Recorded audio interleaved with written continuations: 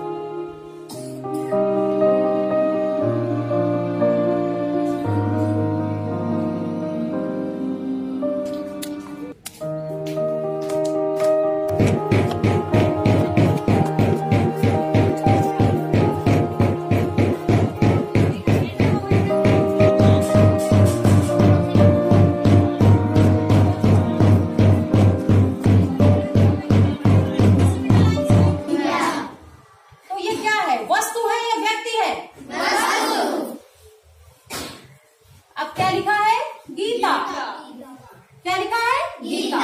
गीता संज्ञा है या सर्वनाम है? संज्ञा। तो गीता क्या है? व्यक्ति है या वस्तु है? सर्वनाम। है? गलत।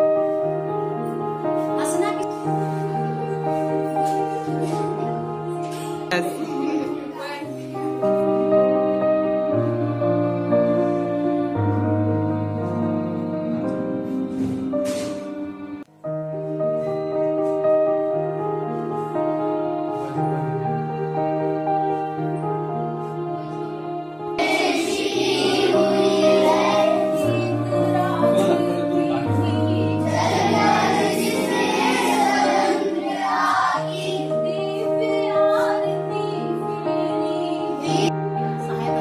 तौर पर। और उस समय मेरे मन में ये था कि इन बच्चों को मुझे ऐसे स्टैंड करना है कि प्राइवेट विद्यालयों को भी मात दे सके ये बच्चे। और इस काम को करने के लिए मैंने उन बच्चों के हुनर को पहचाना और उन बच्चों की एक्टिविटी के माध्यम से उनको सिखाते हुए उन बच्चों में इतना विकास किया इतना विकास किया कि आज की स्थिति ऐसी है कि मॉन्टेसरी से बच्चे कई गाँवों से सात आठ गाँवों के विद्यालय से बच्चे हमारे विद्यालय में नामांकित हो रहे हैं।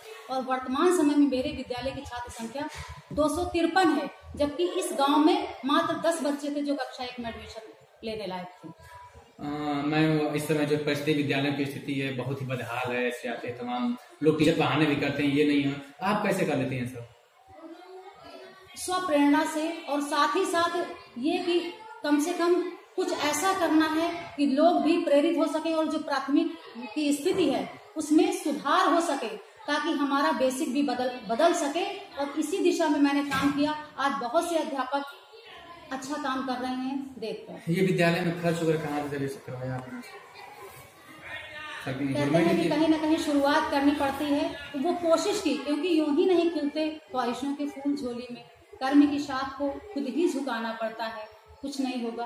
अंधेरों को कोसने से अपने हिस्से का दिया खुद ही जलाना पड़ता है। इसलिए मैंने स्वयं के प्रयास से यहाँ काम शुरू किया।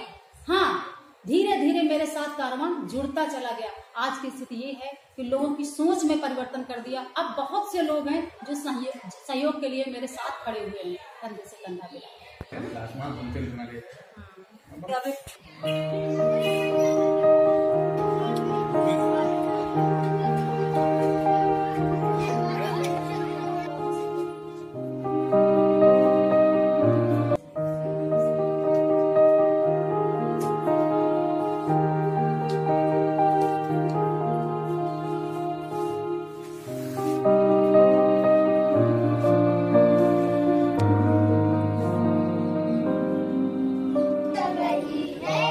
चल रही है हवा चल रही है हवा चल रही है।